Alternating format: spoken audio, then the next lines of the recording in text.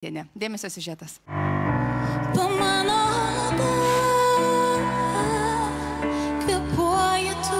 Aš patikėjau. Labai dėkinga šitai laidai, e, kad tokį talentą surado. Tikrai labai buvo gražu. Ir tikrai, tikrai, tikrai, tikrai džiazu. Atrankinėje laidoje Kaunietė Germantė Venskaitėne nuo pirmos iki paskutinės sekundės išbuvo džiazų vaidmenyje ir iš karto užminė myslę. Kas ši moteris iš tikrųjų? Esu Germantė Venskaitinė, 22 metų. E, Šiuo metu mokausi būdų kūrybinės industrijos, be to intensyviai dirbu visažo srityje. Nežinau, šeimininkauju namuose, turiu vyrą, e, du šuniukus painus. Pasirodo, Germantės asmeninis gyvenimas nei iš tolo neprimena skandalingųjų žvaigždžių. Anksti įsimylėjusi, anksti ištekėjo ir niekada dėl to nepasigailėjo. Taip, iš tikrųjų mano gyvenimas labai apsivertė, kai atėjo Martinas, tai yra mano vyras. Iš tikrųjų niekada negalvojau, kad kito žmogaus rūpestis ir meilė taip gali pakeisti tavo gyvenimą. Tai iš tiesų jis man pasipiršo galbūt, kai mums buvo 19 metų. Tai buvo po keturių mėnesių draugystės, viskas buvo labai spontaniška, bet tikrai labai tikra. Ne, ne klasiokai buvom, bet um, paralelinėse klasėse. Tai Šiandien Martinas juokėsi, nes aš į tą mokyklą perėjau tada, kai susipažinau su juo. Sako, tai dėl manęs atėjai. Šiaip taip ir buvo. ne, ne taip buvo, bet nesvarbu. Nu, Tėvų ne taip. Iš tikrųjų, prie altoriaus žengiau iš didelės, didelės meilės žmogui. Tada nelabai kažką galvojau, turbūt iš vis nieko negalvojau. Ir dar pagalvojau, eina savo, aš buvau tokia jauna ir aš tikrai net nesuvokiau, ką aš darau. Bet negaliu, pas, galiu pasakyti, kad nei kiek nesigilim šito sprendimo ir mes, va, jau dabar treti metai esam graži jauna šeima. Man yra beprotiškai smagu kiekvieną rytą atsibusti su tom žmogum ir suprasti, kad jėga, aš jau gyvenime turiu savo žmogų.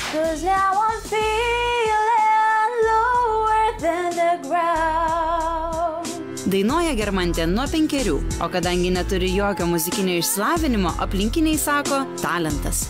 Dainuoja, taip, daugiausiai mašinai. Tikriausiai mėgstamiausia daina tai yra, man atrodo, Lower Than The Ground, galbūt tai tikrai man ta pati mėgstamiausia daina.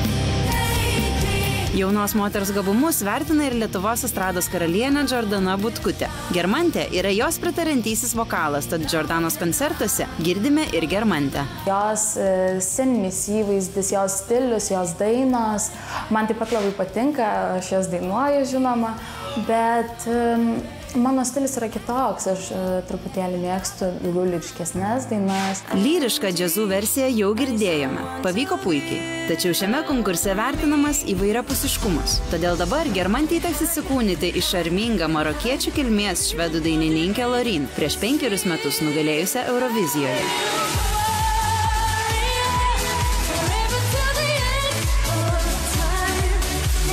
Kaip su užduotimi susitvarkys Germantė, pamatysime netrukus.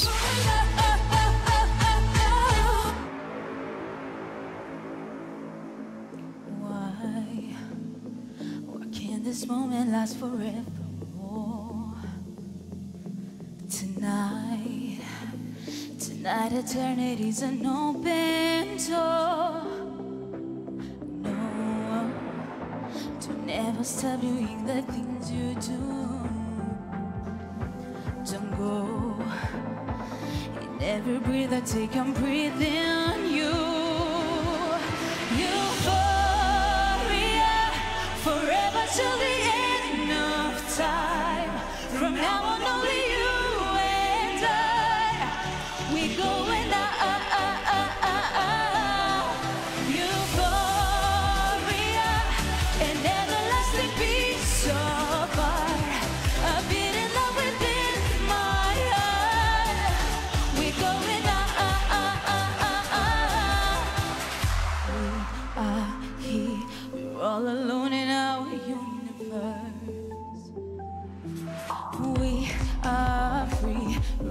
Everything's allowed and love comes first.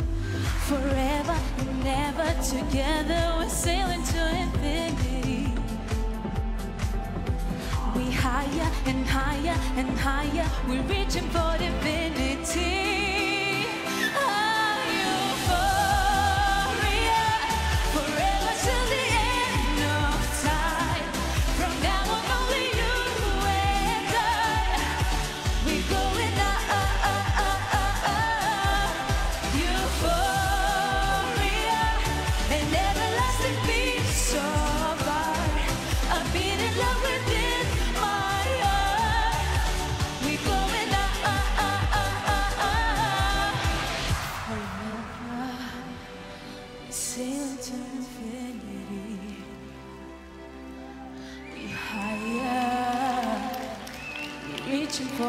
Euphoria.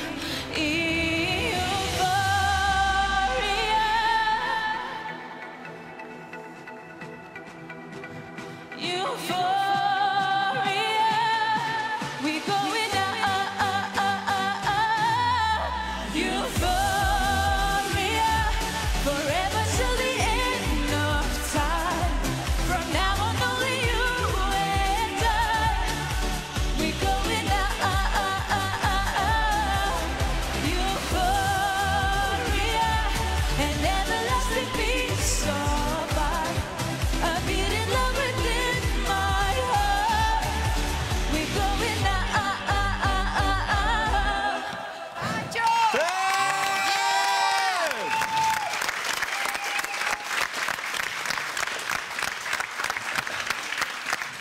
Jėga! Dieve, dieve, Germantė, kad tu žinotum, kiek tu daug streso įvarai, kai pasipila sniegas iš lubų, nes aš visada labai bijau, kai dainininkai dainuoja, kad nebūtų to. Beveik buvo, ar ne? Labai daug visko čia. Gerai, mes džiaugiamės, e, pasirodymas pavyko, pavyko viskas iki galo, mums su Inga labai patiko, bet ar patiko komisijai, sužinosime netrukus. Prašom, komisijos nariai, nuo ko pradėsim? Nuo radės. Ar mums patiko pasirodymas? Nu, Kolandai, va taip, susikabinkim. Mums labai patiko pasirodymas! Šaunuoliam. Nu, Jonas čia daugiau pasireikš, čia jo yra daina, jisai per šitų šito užmiega ir atskeliasi su euforija visą laiką. Papasakok. Tikra euforija, tikra, kaip čia tos visos lastelės, kaip aš kartais mėgtų sakyti, susikimba viduj ir reikia tiesiog. Aleliuja! Tai va toks jausmas ir buvo ir man tikrai labai patiko ir tas tikrai atsi, atsilieps. Ačiū labai radistam, E, prašom. Iš stano kokie žodžiai liesis. Pradžia buvo silpna, buvo neaišku, ar pavyks tau šitą dainą sudainuoti, dėl to, kad tiesiog tau buvo per žemai, ar, ar prastai save silpnas yra tavo paskutinis albumas. Pirmas irgi.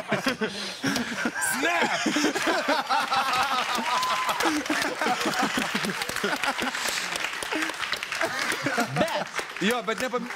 nepamirškim, kad jinai krauna bagažą, jos paskui prieš tai pasirodymas buvo džiazu. Ne, ne, ne, Hebrytė, žinau. Bet po to Stano viskas... čia išsidūrė, kaip, kaip kad būtum ne profas. Iš tikrųjų, tai taip tau pasirodė tik todėl, kad studijoje režisierius garso pagalilėjo garso elementaraus ir tai buvo viskas tyliai. Tai jeigu tiesiog būtų šiek tiek garsiau, tau būtų stogą nurovę. Bet, bet, Traukiai sniegas tam. bet po to viskas susitvarkė ir tu puikiai atlikai vaidmenį ir e, viskas buvo nuostabu. Šokėjau tik tai nesupratau iki galo funkcijos, bet e, gal tau Šokti jo buvo funkcija būna. Šokėjų funkcija yra šokti. nežiūri, nežinai, kad šokėjas veikia. Va, stiekas! Va, šokėja.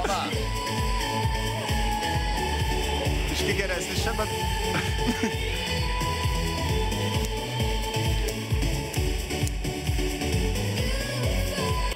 Dabar supratai? Kalbėkit, Asta, kalbėkit. Ir nebijosiu čia būti sutraiškyta visų kolegų, bet to noro išsinerti iš skūros, išeiti iš kūno, ką ką tik pamatėm, bijojau komentuoti, kol nepamatėm video, galvojau, gal aš neprisimenu. Jūs labai gražiai dainuojat, labai gražus pasirodymas, sniegas nuostabus, pritariu, Rolandai. Nu, tikrai. Tikrai. E, Bet noro, nebegalėjimo tilpti savy, būtent e, kūno kalbos, labai labai trūko.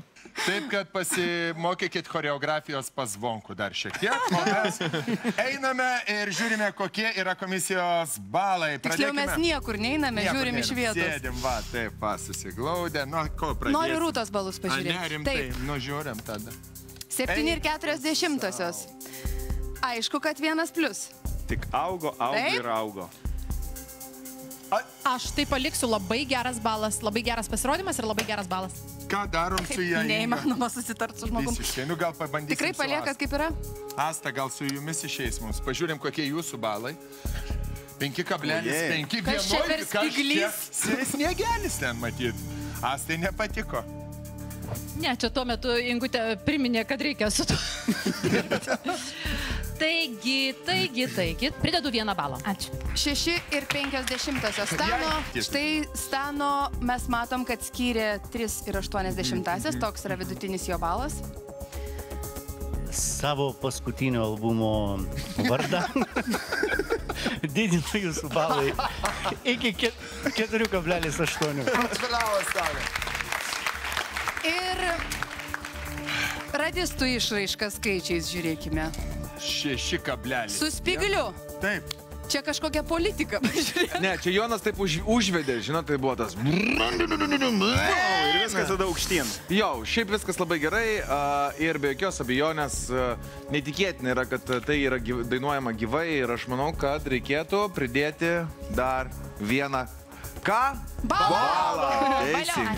Pažiūrėkim, kiek Germantė šį vakarą surinko balų iš viso. Ir kurią kėdę jį užims. 25 ir 90. Tai yra Ir tai yra viskas. trečioji kėdė ir tai yra viskas.